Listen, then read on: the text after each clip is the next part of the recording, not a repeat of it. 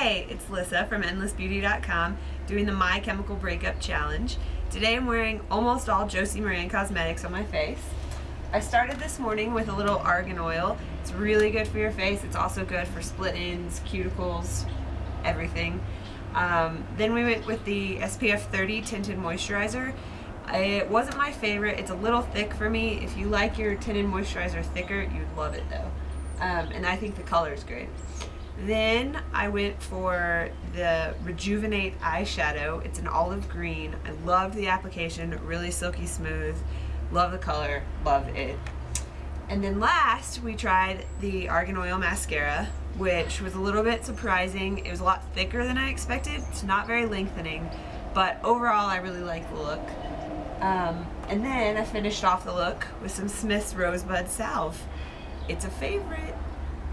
And that's what I'm wearing today on my Chemical Breakup Challenge.